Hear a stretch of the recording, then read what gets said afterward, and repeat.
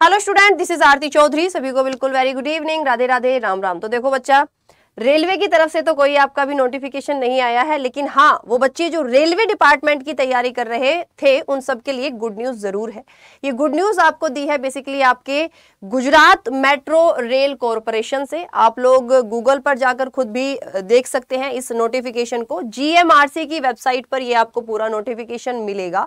और ये नोटिफिकेशन आपका लगभग उन्हीं सब पोस्ट के लिए है जो आप रेलवे की तैयारी कर रहे थे यानी कि जिस रेलवे की पोस्ट की अब आप तैयारी कर रहे थे वो आप जीएमआरसी के ज़रिए बेसिकली पा सकते हैं। स्पेशली जो हमारे गुजरात रीजन वाले बच्चे हैं वो आ, उन सब के लिए एक सुनहरा मौका है। और ये आपका एक गवर्नमेंट जॉब है क्योंकि बच्चों को लगता है कि मेट्रो की जो जॉब होती है वो प्राइवेट होती है। तो मेट्रो की जॉब प्राइवेट नहीं होती मेट्रो की जॉब आपकी गवर्नमेंट ही होती है। फिफ्टी इसको आपकी इंडियन गवर्नमेंट कवर करेगी और फिफ्टी स्टेट गवर्नमेंट इसको आपकी कवर करती है।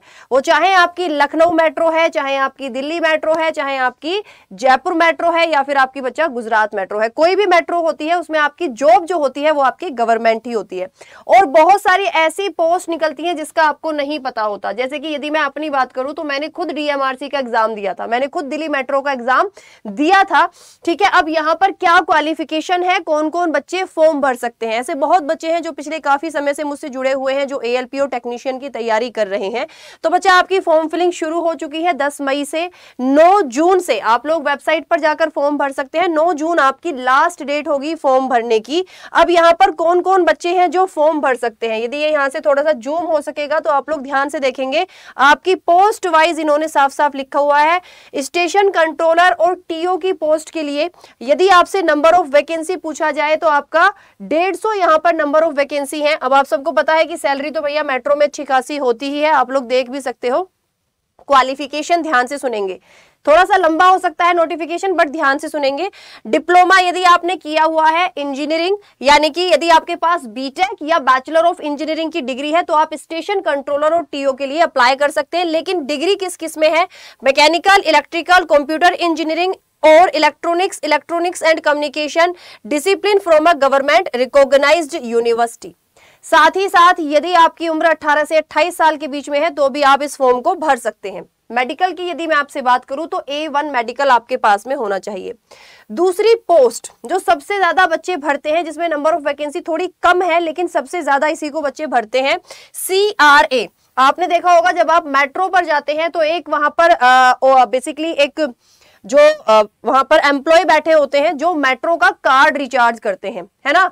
जो मेट्रो का कार्ड रिचार्ज करने का आप क्यों नहीं गेट में से एंट्री कर सकते हैं? ये होता है कस्टमर रिलेशनशिप असिस्टेंट, जिसको हम लोग सीआरए बोलते हैं। और यही लोग आगे चलकर प्रमोट होकर स्टेशन कंट्रोलर बनते हैं।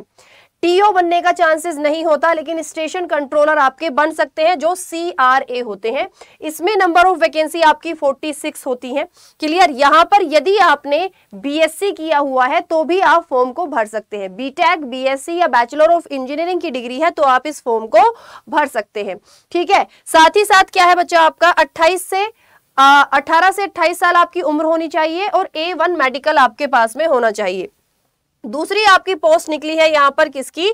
जेई की, यानी जूनियर इंजीनियर की, जिसमें नंबर ऑफ़ वैकेंसी आपकी 31 है।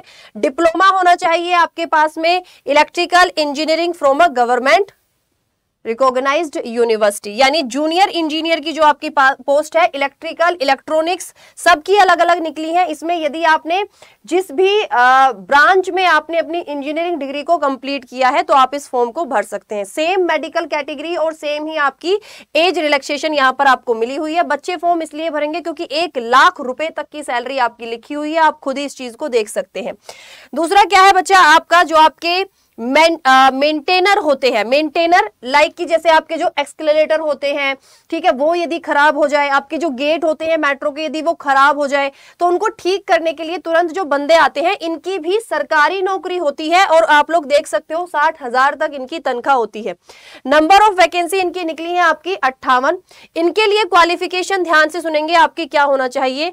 यदि आप आई टी है लिखा हुआ है S S L C pass with I T I two years in fitters in fitters from a government recognised university और उम्र आपकी 18 से 25 साल है तो आप ये फॉर्म भर सकते हैं। वेबसाइट पर जाकर जो भी बच्चे इंटरेस्टेड है फॉर्म ज़रूर भरेंगे। चलिए, दूसरा क्या है आपका? मेंटेनर इलेक्ट्रिकल यदि आपने आईटीआई इलेक्ट्रिक इलेक्ट्रिशियन में किया हुआ है या इलेक्ट्रिकल में किया हुआ है तो आप इलेक्ट्रिकल वाले मेंटेनर के लिए फॉर्म को भर सकते हैं। तीसरा है, इलेक्ट्रॉनिक्स तो सेम, यदि आपने आईटीआई इलेक्ट्रॉनिक्स में किया है तो आप इस फॉर्म के लिए भर सकते हैं।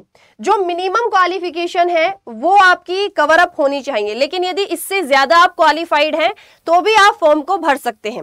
साथ ही साथ, यहाँ पर यदि आप इसे नीचे थोड़ा सा पढ़ेंगे तो यहाँ पर क्या क्या लिखा हुआ है, मैं आपको समरी बता देती हूँ। क्वालिफिकेशन में साफ़ साफ़ लिखा हुआ है, वो बच्चे जो फाइनल ईयर में है वो बच्चे जो फाइनल ईयर में हैं, आप जिस भी पोस्ट के लिए एलिजिबल हैं, आप लोग फॉर्म भर सकते हैं। रेलवे आपको ये सुविधा भी नहीं देती है, लेकिन मेट्रो आपको ये सुविधा देती है कि यदि आप फाइनल ईयर में हैं तो भी आप फॉर्म भर सकते हैं। और यदि आपका पेपर क्लियर होता है तो नौकरी भी आपको दी जाएगी। बशर्ते कि जब आप लोग डीवी के लिए जाए डॉक्यूमेंट वेरिफिकेशन में आपके पास जो भी बेसिकली एलिजिबिलिटी क्राइटेरिया है, वो सारे के सारे डॉक्यूमेंट आपके पास होने चाहिए। यानी डीवी से पहले आपके पास आपकी डिग्री या जो भी इन्होंने आपकी क्वालिफिकेशन मांगी है, उसका कागज़ पूरा आपके पास में आ जाना चाहिए। सीआरए का साफ़ साफ़ लिखा हुआ है कि सीआरए आगे चलकर आपके एससी या टीओ में प्रमोट हो सकते हैं। ओके जी क्लियर यहाँ पर सारी पोस्ट के बारे में बताया हुआ है किसका काम क्या होता है। अब बात करते हैं एग्ज़ाम पैटर्न की और सिलेबस की। तो एग्ज़ाम पैटर्न में आपको बता देती हूँ, आपका एक टेस्ट होगा सौ नंबर का और बीस नंबर का एक टेस्ट होगा जो आपका गुजराती लैंग्वेज क्योंकि आप लोग गुजरात में ही पोस्ट रहेंगे और जितनी मेट्रो सिटीज़ बच्चे मेट्रो का फॉर्म इसलिए भरते हैं क्योंकि मेट्रो सिटीज़ में ही आपकी पोस्टिंग होगी, आपको किसी रूरल एरिया में नहीं भेजा जाएगा। सौ नंबर का पेपर होगा और बीस नंबर का लैंग्वेज टेस्ट होता है, क्योंकि गुजरात में डील करना है तो गुजराती आपको आनी चाहिए। नीचे लिखा होता है मिनिमम स्कोर जनरल कैटेगरी के लिए 60 परसेंट। यानी जो आपका रिटर्न टेस्ट है, उसमें आपको 60 नंबर लेकर ही आने हैं। वो इन्होंने पहले ही बोला है। 100 में से 60 आपको लेकर आने हैं। साथ ही साथ ईडब्ल्यू एस ओबीएस वालों को मात्र 50 परसेंट नंबर लेकर आने हैं। In the test of Gujarati language shall only be considered for selection the marks in Gujarati language will not be considered for merit listing यानी गुजरात लैंग्वेज जो है, वो सिर्फ़ आपकी वहीं पर आपको बता दिया जाएगा कि आप क्वालिफाई हुए हैं। या नहीं हुए हैं वो उसके आपके फाइनल मेरिट लिस्ट में कोई नंबर नहीं जोड़े जाएँगे। साथ ही साथ आपका क्या है? दिस आ, आ, मतलब हर एक उसके लिए अलग अलग है जैसे कि आपका स्टेशन कंट्रोलर के लिए duration of the test will be 120 minutes यानी two hours for all parts together the test will consist of 120 questions Gujarati language 20 question logical ability यानी कि reasoning maths general English and आपका technical knowledge के आपके 40 question होंगे। यहाँ पर पूरा इनका चिट्ठा है कि हर एक उसके लिए अलग अलग पेपर होगा, ठीक है? हर एक उसके लिए अलग अलग पेपर होगा। जैसे जहाँ तक मैं बात करती हूँ आपसे, यदि इसमें सीआरए का लिखा हुआ है तो आपसे एक बार सीआरए को मैं डील कर लेती हूँ। श्योरिटी बॉन्ड है, ये तो सब कुछ। ठीक है, आप लोग एक बार इसको रीड कर लेंगे। बाकी जो मोटा मोटा था ऑन एन एवरेज मैंने आपको समझा दिया है। तो जो भी बच्चे हैं इंटरेस्टेड है, आप लोग फॉर्म ज़रूर भर देंगे। But please it is a humble request कि आप लोग नोटिफिकेशन को ध्यान से पढ़कर ही फॉर्म भरेंगे। ओके जितना हो सकता है यूपी वाले फॉर्म भर सकते हैं। ठीक है? लेकिन आपको गुजराती लैंग्वेज सीखनी पड़ेगी फिर। क्योंकि 20 नंबर का वो टेस्ट पास करना मैंडेटरी है एक तरह से। ओके डीजल मैकेनिक वालों का कुछ नहीं आया है इनमें।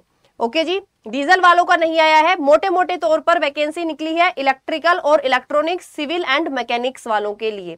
और कंप्यूटर साइंस इंजीनियरिंग वाले बच्चों के लिए ये वैकेंसी आपकी मोटे तौर पर यहाँ पर यदि मैं आपसे बात करूँ नंबर ऑफ़ वैकेंसीज किसमें ज़्यादा है? सबसे ज़्यादा आपकी एससी स्टेशन कंट्रोलर और ट्रेन ऑपरेटर की वैकेंसीज को निकाला गया है। सो so, प्लीज़ यदि आपको इस तरह की नोटिफिकेशन और अप टू डेट रहना है आपको हर एक वैकेंसी के बारे में जानना है तो आप लोग जो भी बच्चे नए हैं मैं सारी वैकेंसी जो भी निकलती हैं चाहे कम हो चाहे आपकी ज़्यादा हो सबको कवर करती हूँ। सो प्लीज़ चैनल को सब्सक्राइब ज़रूर करेंगे ठीक है? और आप लोग आ, इस वीडियो के डिस्क्रिप्शन में मेरे नाम के साथ में एक लिंक होगा वहाँ से एप्लीकेशन को डाउनलोड करके ज़रूर रखेंगे बिकॉज़ बहुत सारा फ्री कंटेंट मिलता है। दूसरी बात एक बच्चा पूछ रहा है मैम सिलेबस सिलेबस आपका मोटा मोटा वही है वो जो रेलवे वाला है बस इसमें इंग्लिश आएगी रेलवे में इंग्लिश नहीं आती है। मेट्रो का कोई भी एग्ज़ाम दोगे रेलवे में आपकी मेट्रो रेलवे में आपकी इंग्लिश पूछी ही जाती है। बाय बाय टेक केयर जय हिंद नहीं नहीं पोस्ट प्रेफरेंस नहीं है। एक बंदा एक ही पोस्ट के लिए फॉर्म भर सकता है। एक बंदा एक ही पोस्ट के लिए